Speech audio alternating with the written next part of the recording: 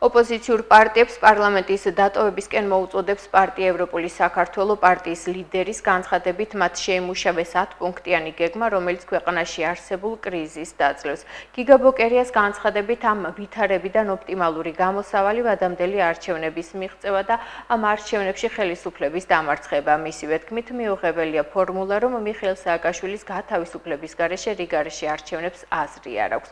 ევროპულ საქართველოში იმედოვნებენ, რომ ოპოზიცია მათ შეთავაზებას გაიზიარებს, საკითხს უკვე გამოეხმაურა ოპოზიციური პარტიების ნაწილი.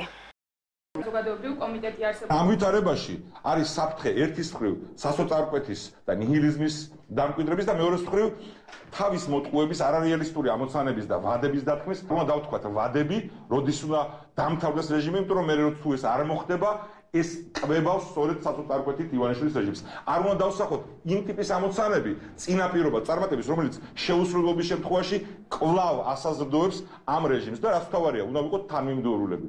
არ შეიძლება ერთის მხრივ ვიძახდეთ, რომ არჩევნებს აზრი აქვს დაკარგული, ზოგადად რაც ცდარი გზავნილია და სწორედ უიმედობას ნერგავს და მეორეს მხრივ პარლამენტში რუტინულ პროცედურებში ვიყოთ ჩართული. რიგარეში არჩევნების თემა დროებით გადაავადა შალ მიშელის დოკუმენტმა და დღევანდელი მდგომარეობა დაფუძნებული არის შარლ მიშელის შეთანხმებაზე. რადგან შარლ მიშელის დოკუმენტიდან გავიდა ქართული ოცნება და რაც ყველაზე უფრო მთავარია, ამ შეთანხმების არც ერთ პუნქტს არ ასრულებს, აქედან გამომდინარე, ჩემის აზრით, მნიშვნელოვანია ოპოზიციური ოპოზიციური პარტიების პოზიცია, რომელიც შესულია პარლამენტში და ჩვენ ერთადერთ საშუალებად დღეს მოთხოვნა დავაფუძნოთ რაიმე გარემოებაზე, ეს არის საქართველოს პარლამენტის დატოვება იმ ოპოზიციური პარტიების მიერ, რომელიც შეთანხმების საფუძველზე შევიდა პარლამენტში. ბოკერიას თავის პრიორიტეტები გააჩნია და მის პარტიას საკუთარი პრიორიტეტები გააჩნია.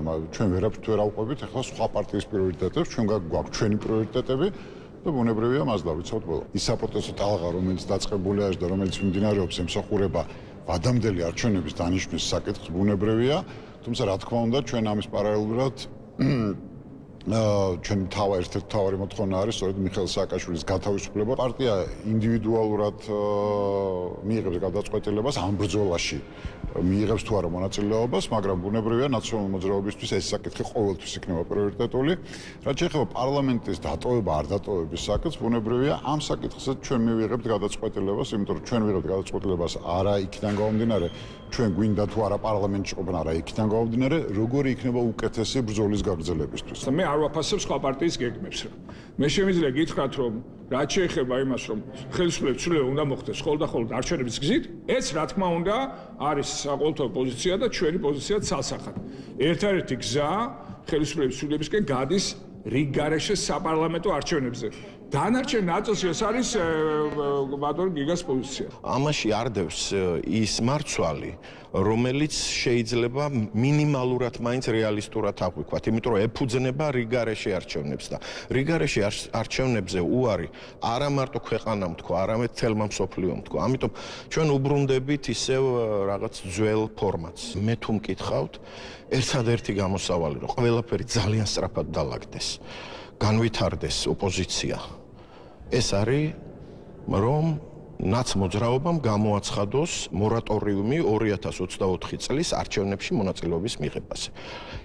ეგრევე დაალაგდება ქვეყანა. ბოკერიას იღმისეულ მსჯელობას ვერ ჩავწუდებით ახლა, ვის ჩამოყალიბდნენ რა უნდა თვითონ. ოპოზიციას აქვს არარეალისტური მოთხოვნები, განუხორციელებელი მოთხოვნები და ამ არარეალისტურ მოთხოვნებშიც არ არიან ერთიან. ეს მოთხოვნები დარჩება მოთხოვნებად, ვინაიდან ამ ყველაფერს არა აქვს საფუძველი, არა აქვს ჩვენი საზოგადოების მხარდაჭერა და ჩვენმა ხალხმა რა არჩევანიც გააკეთა, ამ არჩევანს კითხვის ნიშნის ქვეშ ვერ და არ დააყენებენ. ეს არჩევანი ლეგიტიმურია, ეს არჩევანი აღიარებულია ჩვენი საერთაშორისო თანამეგობრობის მიერ.